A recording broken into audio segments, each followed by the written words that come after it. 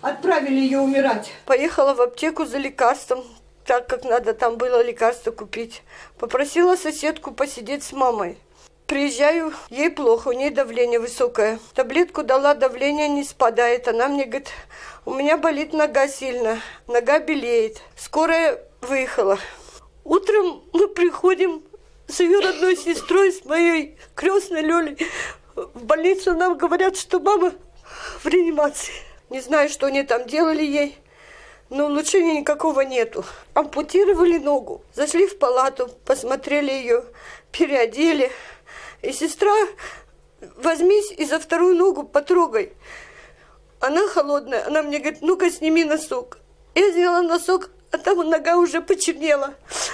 Я говорю, вы видали вторую ножку? Он, да. Я говорю, что будете делать? Мы ее сохраним. Сохраним. В общем, они ее не сохранили. Отрезали. Отрезали, сказали, что по колено.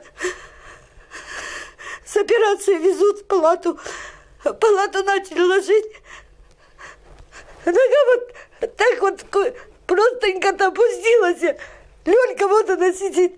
Она как спрыснет, а у меня в глазах потемнело. Мне страшно стало. Мне врач-доктор, женщина говорит, что мама тяжелая у вас. Забирайте домой. Она домой просится. Я говорю, а как же я буду перевязывать ее? Положили домой, дома. Все, на утро я позвала свою подружку, она медик по образованию, попросила, чтобы сделать перевязку.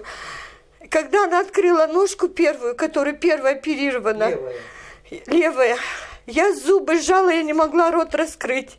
У меня в глазах потемнело, я такого еще не видела. Вот так вот рот открытый, и кость торчит.